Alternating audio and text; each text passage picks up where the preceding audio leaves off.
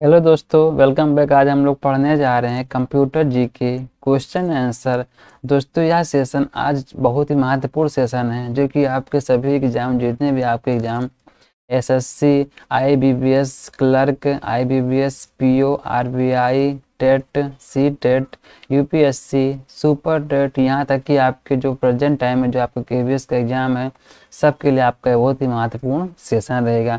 तो दोस्तों, इसमें क्या लगभग आपको जो एक सीरीज़ में आपको पंद्रह क्वेश्चन आंसर का जो है, आपको सीरीज़ मिलेगा, जो आपके एग्ज़ाम के लिए बहुत ही महत्वपूर्ण होगा। तो देखिए, इसमें पहला क्वेश्चन आपका लिखा गया है। लिखा है कंप्यूटर के आविष्कारक कौन हैं? तो देखिए यहाँ पे इसका आप अगर देखेंगे तो आपका यहाँ पे हिंदी में इसका लिखा गया है और यहाँ पे क्वेश्चन आपका यहाँ पे हिंदी, इंग्लिश में लिखा गया है। और आप लोग जानते हैं कंप्यूटर जो होता है आपका सबसे ज़रूरी होता है समझना में अपने अंग्रेज़ी के लैंग्वेज में। क्योंकि आप जानते कुछ ऐसे वर्ड्स हैं, कुछ ऐसे मतलब शब्द हैं, जिनको आप हिंदी में कंप्यूटर को समझ नहीं सकते तो इसलिए आपको यहाँ पर बाईलिंगुअल दोनों भाषाओं में प्रोवाइड किया जा रहा है। तो आप लोग जैसे भी विद्यार्थी हो चाहे आप हिंदी के, चाहे आप इंग्लिश के, दोनों तरीके से अच्छे से आप समझिए और पढ़िए और अपने एग्ज़ाम को तैयारी आप लोग करिए। तो देखिए लिखा गया कंप्यूटर के आविष्कारक कौन है? तो अगर हम देखते हैं, यहाँ पे लिखा है, पहले वॉन न्यूमैन लिखा है, जे एस किलवी लिखा है, और आपको देखिए यहाँ पे आंसर क्लिक कर दिया लेकिन आप लोग को ज़रूरी नहीं कि आपको सिर्फ़ डायरेक्ट आंसर ही देखना है। आपको चारों विकल्प अच्छे से पढ़ करके आपको जो इसको समझना है, नहीं तो आप अभी अपने यहाँ पे आपको आंसर सीधे मिल जा रहा है, और अपने एग्ज़ाम में जाएँगे, आप लोग, आप ढूंढेंगे तो जल्दी मिलेगा नहीं आपको आंसर। तो ज़रूरी कि आप चाहे विकल्प को अच्छे से पढ़िए, जिससे कि आप लोग जब कभी अपने एग्ज़ाम में जाएँ तो अगर हम विकल्प हमको चुनना हो तो सही प्रकार विकल्प हम चुन सकें। तो देखिए यहाँ पे इसका आंसर बताया गया आपका, चार्ल्स बैबेज अगर हम देखते हैं, यहाँ पे लिखा गया है who is the inventor of computer computer देखिए यहाँ पे जानने गया कंप्यूटर के आविष्कारक कौन है? तो यहाँ देखिए फिर से लिखा गया आपका वन न्यूमैन है जे एस किल्बी है, चार्ल्स बेबेज है और none of the none of these हैं।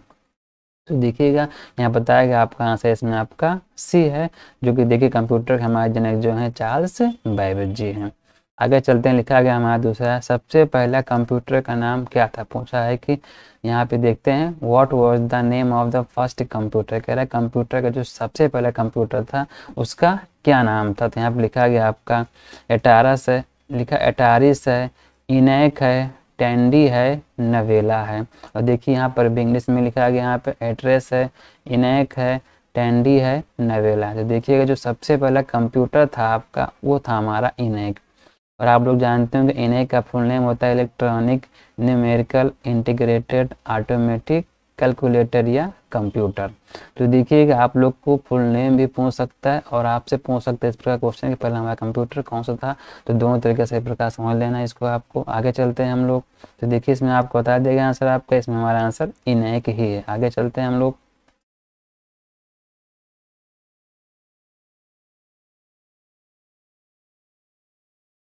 इसका क्वेश्चन नंबर हमारा थ्री लिखा गया है। लिखा है आधुनिक कंप्यूटर की खोज सर्वप्रथम कब हुई? तो यहाँ पे देखिए लिखा है इसका इंग्लिश में when was the modern computer first invented तो देखिए रहा कि सबसे पहले जो आपको आधुनिक कंप्यूटर इसकी खोज हमारी कब हुई थी? तो यहाँ पे देखिए सन लिखा है आपका उन्नीस सौ उनचास, उन्नीस सौ इक्यावन, उन्नीस सौ छियालीस, उन्नीस सौ सैंतालीस। तो आपका आंसर हो जाएगा आपका यहाँ पे उन्नीस सौ छियालीस। का देखिए आधुनिक कंप्यूटर का जो हमारा खोज कब से माना गया, माना जाता है आपका उन्नीस सौ छियालीस से। उसका लिखा हमारा क्वेश्चन नंबर फोर लिखा है, यहाँ पे कह रहा है, कंप्यूटर के क्षेत्र में महान क्रांति कब से आई? कह रहा है, कंप्यूटर के क्षेत्र में जो है सबसे ज़्यादा आप अगर देखते हैं, कब से मतलब इसका वैल्यू बढ़ गया, ये सबसे ज़्यादा कंप्यूटर का लोग अधिकतर अपने लोग बिज़नेस में, अपने कंपनी में यूज़ करने कब से आने लगा? तो देखिए, यहाँ पे बताया गया आपका ऑप्शन यहाँ पे लिखा गया आपका लिखा आपका, उन्नीस सौ सतहत्तर लिखा गया 2000 लिखा गया 1955 लिखा गया, प्लस आपका लिखा 1960 अगर देखते हैं, यहाँ पे लिखा गया आपका इंग्लिश में इसका क्वेश्चन कह रहा है since when did the great revolution in the field of computer come कह रहा है कंप्यूटर जो हमारे किसी भी क्षेत्र में सबसे ज़्यादा क्रांति कब लाया या कब इसका ज़्यादा इंपॉर्टेंस बढ़ गया? बढ़ गया तो देखिए, यहाँ पे इसका आंसर लिखा गया आपका बताया गया आपका 1960 मतलब आपका 1960 से जो है कंप्यूटर का चलन ज़्यादा बढ़ गया। इसके बाद क्वेश्चन लिखा है कह रहा है, कंप्यूटर का हिंदी नाम क्या? पूछा कि कंप्यूटर को हिंदी में हम लोग किस नाम से जानते हैं? लिखा है what is the Hindi name of computer तो देखते हैं, यहाँ पे लिखा गया, गणना करने वाला संगणक लिखा गया, लिखा हिसाब लगाने वाला देन लिखा परिगणक तो देखिए, यहाँ पे लिखा गया हमारा, अगर देखते हैं, लिखा आपका इनिमिनेटर कंप्यूटर्स अकाउंटेंट इनिमिनेटर तो देखिए, यहाँ पे आपको हिंदी समझना है तो देखिए, हिंदी में हम, यहाँ पे हिंदी पे फोकस करना है। तो कंप्यूटर को हिंदी में हम लोग संगणक के नाम से जानते हैं, और आप लोग जानते हैं संगणक मीन्स होता है गणना करने वाला मीन्स कैलकुलेशन करने वाला जो होता है, उसी को बोलते हैं हम लोग कंप्यूटर उसे बोलते हैं हम लोग संगणक। ओके दोस्तों, आगे चलते हैं हम लोग।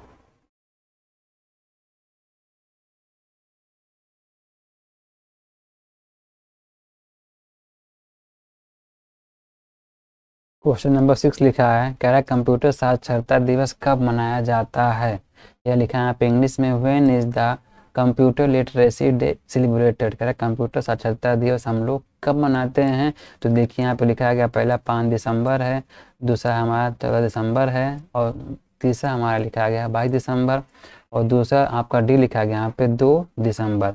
तो दोस्तों, हम लोग कंप्यूटर साक्षरता दिवस मनाते हैं दो दिसंबर को। तो देखिए, यहाँ पर भी लिखा गया fifth December fourteen December twenty two December and लिखा सेकेंड दिसंबर तो आपका आंसर हो जाएगा आपका यहाँ पर सेकेंड दिसंबर ओके दोस्तों अगर चलते हैं, लिखा हमारा, कह रहा है, सीपीयू का पूर्ण रूप क्या है? कह रहा है what is the full form of CPU तो कह रहा है सीपीयू का पूरा नाम क्या अगर आप लोग हिंदी में देखते हैं तो देखिए, हिंदी में क्या आपका, देखिए यहाँ पे, आपको दोनों जगह पे इंग्लिश में प्रोवाइड कर दिया जिससे कि आपको सही प्रकार से वहाँ पे ढूँढने में प्रॉब्लम ना आए, या आप जरा से भी गलती अपने एग्ज़ाम में ना करें। तो देखिए, इसका फुल नेम यहाँ बताया गया है।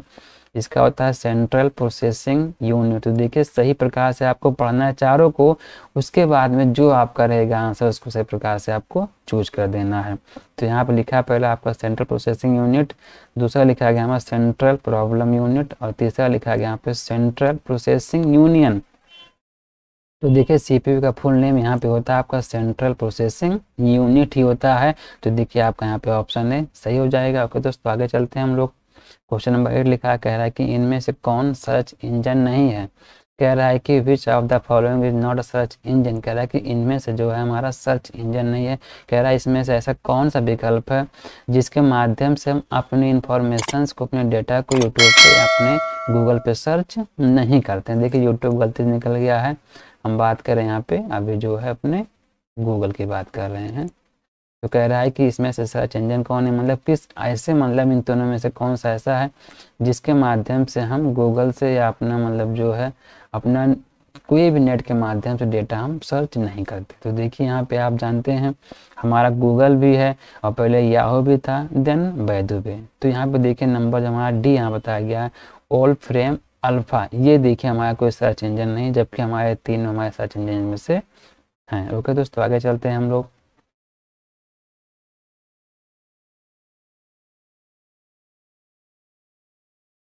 इसके बाद लिखा है, क्वेश्चन नंबर नाइन लिखा गया है। लिखा है, निम्न में से कौन इनपुट इकाई है? कह रहा है कि which of the following is an input device कह रहा है कि इनमें से कौन आपका इनपुट डिवाइस है? आप जानते हो कि इनपुट डिवाइस हमारा होता है। वो होता है, जिसके माध्यम से अपने कंप्यूटर्स को हम लोग इंस्ट्रक्शंस और अपना मतलब कमांड देते हैं। जैसे कहते हैं इनपुट यूनिट बोलते हैं इसको इनपुट डिवाइस जानते हैं इनपुट मतलब जिसके माध्यम से हम अपने इंस्ट्रक्शंस को कंप्यूटर में रखते हैं कंप्यूटर को हम देते हैं, उसे बोलते हैं हम लोग इनपुट डिवाइस और आप लोग जानते हैं, इसमें आपका इनपुट डिवाइस आप जानते हैं माउस भी होता है कीबोर्ड भी होता है स्कैनर भी होता है तो देखिए तीनों हमारे इसमें से इनपुट डिवाइस हैं तो आपका यहाँ पे ऑप्शन डी सही जगह इसमें कह रहा है इनमें से कोई नहीं। देखिए इनमें से सभी। तो दोस्तों गलती से पढ़ दिया गया, देखिए कह रहा है कि ऑल ऑफ़ दीज कह रहा है माउस भी है कीबोर्ड भी है स्कैनर भी ऑल ऑफ़ दीज कहने मतलब कि ये तीनों आपके इसमें से इनपुट डिवाइस है। तो ध्यान रखिएगा आप लोग, सही प्रकार जितने डिवाइस है आपके इनपुट या आपकी आउटपुट सही प्रकार पढ़ जिससे कि आपको छाटने प्रॉब्लम ना आए। इसका लिखा गया आपका क्वेश्चन नंबर टेन कह रहा है कि एक किलो बाइट या के बी कितने बाइट के बराबर होते हैं? यहाँ पे लिखा है इसका इंग्लिश में। कह रहा है one kilobyte K B is equal to how many bytes कह रहा है कि आपका जो वन के बी होता है, वो कितने बाइट के बराबर होता है? और आप लोग जानते हैं कंप्यूटर का हमारा जितना भी यूनिट होता है, उसका जो सिंपल यूनिट जो हमारा अगर हम काउंटिंग बात करते हैं तो सब में आपका एक हज़ार चौबीस ही होता है। आप जानते होंगे, सबसे पहले अगर हम बात करते हैं तो देखिए हमारा निब्बल होता है, सबसे छोटा जो होता है, फिर बाइट आता है, फिर आपका के बी मीन्स किलो बाइट आता है, देन आपका M B means megabyte आता है, उसके बाद में जी बी मीन्स आपका यहाँ पे गीगा बाइट आता है, उसके बाद टीबी में से आपका टेरा बाइट आता है।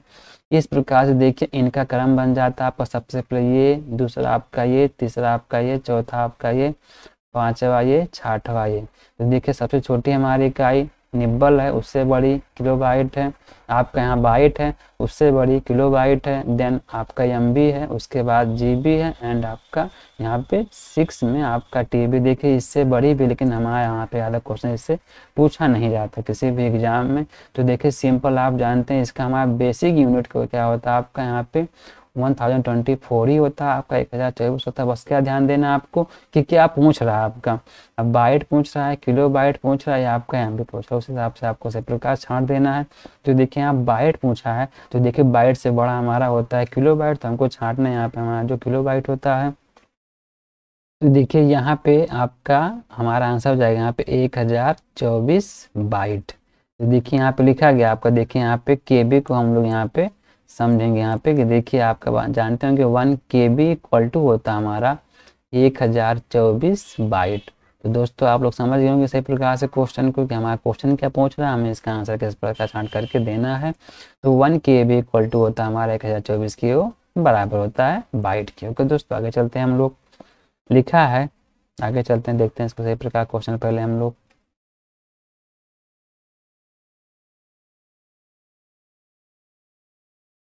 कह रहा है कि वन मेगाबाइट या एमबी कितने बाइट के बराबर होते हैं? कह रहा है कि देखिए यहाँ पे किलो कितने बाइट बराबर होता है।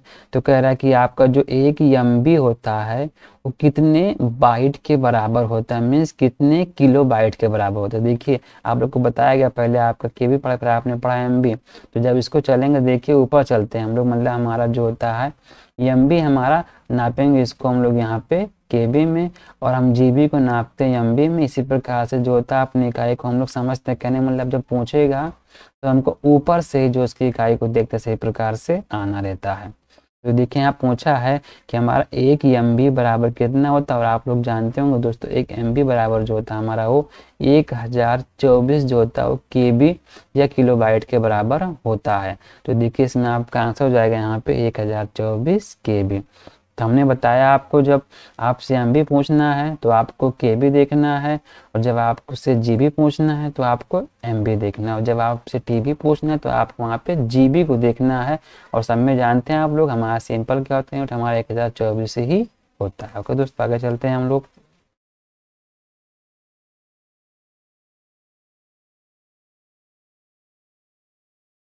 इसका लिखा क्वेश्चन नंबर हमारा ट्वेल्व लिखा गया है। कह रहा है कि वन गीगा बाइट या एक जीबी कितने बाइट के बराबर होता है? तो देखिए, हमने बताया आपको।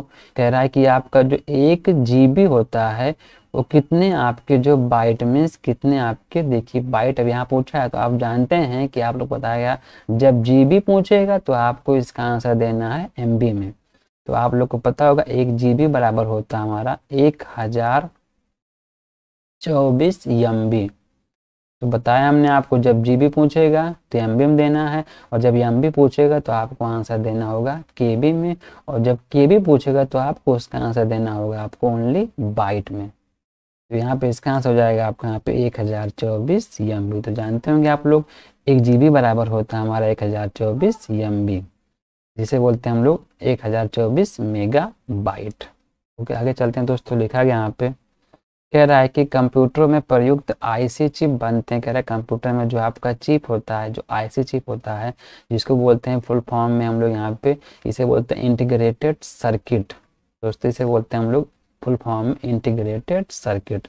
तो कह रहा है कि आपका जो आईसी होता है, वो हमारा किससे मतलब किस जो है आपके यहाँ पे धातु से बना होता है। और आप लोग जानते होंगे जो हमारा आईसी था, इसका प्रयोग हुआ था आपके थर्ड जनरेशन में। देखिए, यहाँ पे कंप्यूटर से क्वेश्चन बनेगा।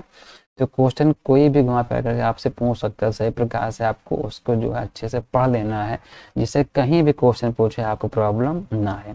तो यहाँ पे देखिए लिखा है, इसके कह रहा है कि IC chip use in computer are made कह रहा है जो कंप्यूटर में हमारे जो आईसी चिप होता है, वो किसका बना होता है? क्या बना होता है आपका? क्रोमियम का। क्या बना होता है आपका आयरन ऑक्साइड का, कि क्या बना होता है आपका सिल्वर का, या बना होता है सिलिकॉन का। तो दोस्तों, आप लोग जानते होंगे, जो हमारा आईसी चिप होता है, बना होता है सिलिकॉन का। तो हमारे इसमें आंसर हो जाएगा हमारा नाम सही डी तो देखिए, हमारा यहाँ पर भी डी यहाँ पर भी देखिए, दोनों जगह आप यहाँ पे हिंदी में देख सकते हैं।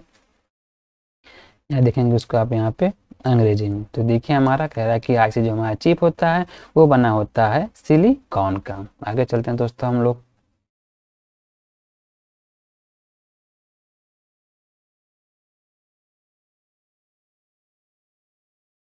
इसके बाद दिखाया गया यहाँ पे। कह रहा है कि इंटरनेट के पत्ते लिखा इंटरनेट के पते, यहाँ पते लिखा मीन्स एड्रेस पते में पद एच का सही विस्तृत रूप क्या कह रहा है? जो आप इंटरनेट जब चलाते हैं जो यहाँ पे आपका एच आपने गौर किया होगा, लिख के हमेशा जो होता है आगे वो वेबसाइट में आता है, किसी साइट में आता है। एच लिख के आता है।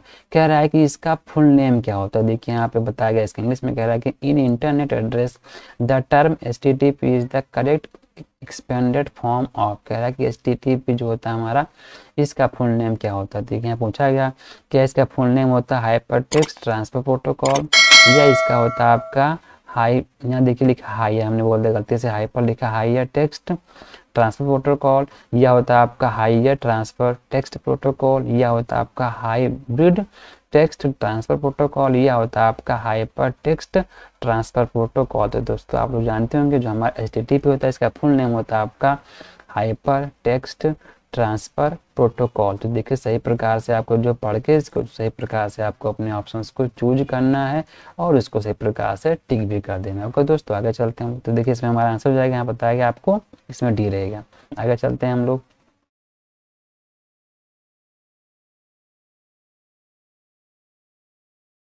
देखिए लास्ट हमारा यहाँ पर बताया गया है। इसमें लिखा है, किसी कंप्यूटर के प्रोग्राम में बच्चों द्वारा प्रयुक्त भाषा प्राय कौन सी होती है?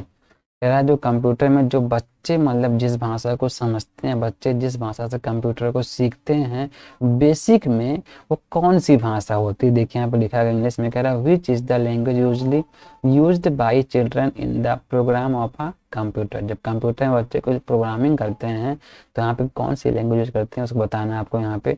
तो देखिए, यहाँ लिखा है बेसिक है आपका जावा है लोगो है एंड पायलट है। यहाँ पे लिखा है बेसिक है जावा है लोगो है पायलट देखिए कंप्यूटर की जो सबसे बेसिक लैंग्वेज जो होती है, जो बच्चे यूज़ करते हैं, वो होता है आपका लोगो लैंग्वेज तो देखिए, यहाँ पर आप लोगो चूज़ कर सकते हैं। क्योंकि देखिए लोगो ही जो होता है जैसे बच्चे जो है सिंपली कंप्यूटर पे काम करते हैं। देखिए, जब प्रोग्रामिंग करते हैं तो वहाँ पे काम करते हैं। इसका मतलब आप ना समझिएगा कि जब बच्चे लोग को कंप्यूटर सिखाते हैं तो वहाँ पे उनकी अलग भाषा हम लोग लगा देते हैं। कंप्यूटर में ऐसे इसमें कुछ भी नहीं बताया गया। तो दोस्तों, इसमें इसका आंसर हो जाएगा आपका यहाँ पे ऑप्शन नंबर सी लोगो तो दोस्तों, आज के लिए इतना है। दोस्तों दोस्तों, इसी प्रकार से लगभग जो है आपको ऐसे पंद्रह पंद्रह क्वेश्चन कम से कम दोस्तों आपको बीस सीरीज़ प्रोवाइड की जाएगी। तो दोस्तों, आगे इसकी सीरीज़ देखने के लिए सब्सक्राइब करें हमारे चैनल में। दोस्तों, आपको आगे सीरीज़ मिलती रही। ओके दोस्तों, आगे वीडियो आपको अच्छी लगती है तो वीडियो लाइक करिए। दोस्तों हम शेयर भी करिएगा। ओके दोस्तों थैंक्स फॉर वॉचिंग